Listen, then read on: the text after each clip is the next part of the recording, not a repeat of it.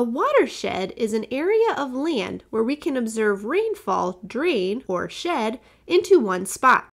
Here we are in Congaree National Park, where all the rainfall in this area drains into the Congaree River.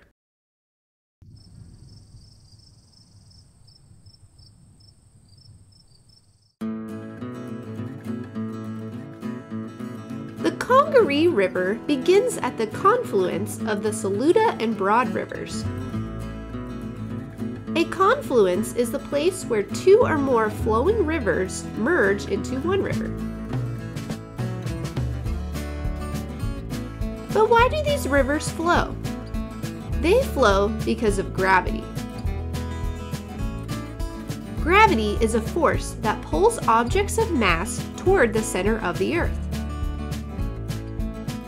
This includes precipitation, like rain and snow. This is why we see it fall down from the sky. This is also why we see rivers flow. The water is being pulled downward toward the lowest point in the system, also called the outlet.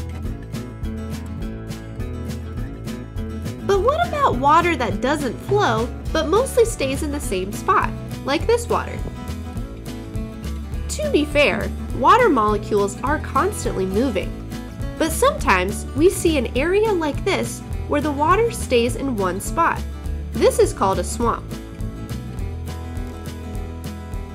Congaree, however, is not a swamp but a floodplain. That's because all this water retreats from the area and then it will flood back again. This cycle happens about 10 times every year. Sometimes the rain in a watershed doesn't flow very far. It can get absorbed by the soil and it flows down toward groundwater storage in a process called percolation.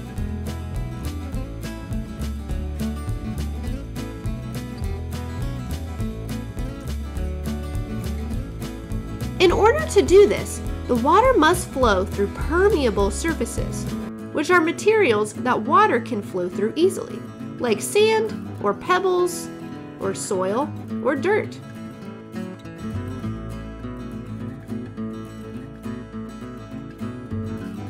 Impermeable surfaces are the opposite. Like concrete, the water can't flow through it, so it just flows over it.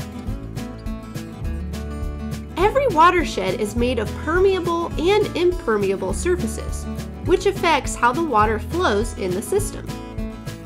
A great model of a watershed is a shower or bathtub.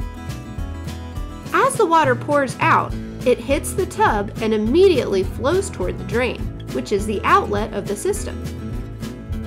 However, some water falls on the shower curtain or the walls, and some even evaporates as steam, and some lands on our skin, which soaks up some of the water, similar to the soil. No matter where you are, you are standing in a watershed, and your activities can impact your own watershed and the watersheds downstream.